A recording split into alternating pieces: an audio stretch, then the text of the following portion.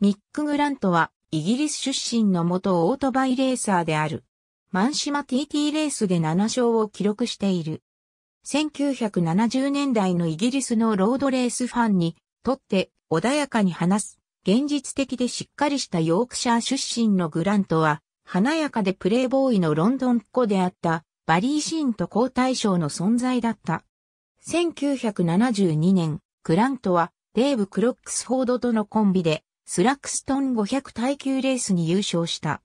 1975年のマンシマ TT レースでは1967年以来破られることのなかったマイク・ヘイルウッドのタイムを破って優勝している。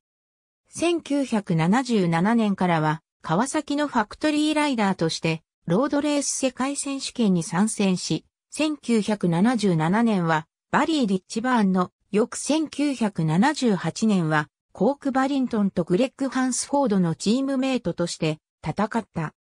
1979年には、ホンダの実験的な楕円ピストンを持つ NR500 の開発ライダーに抜擢されたが、この時はマシンの戦闘力不足もあって満足な結果を残すことはできなかった。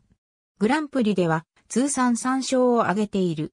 また、グラントはマカオグランプリにもたびたび出場し、川崎のファクトリーライダーだった1977年とヘロン鈴木から出場した1984年に優勝している。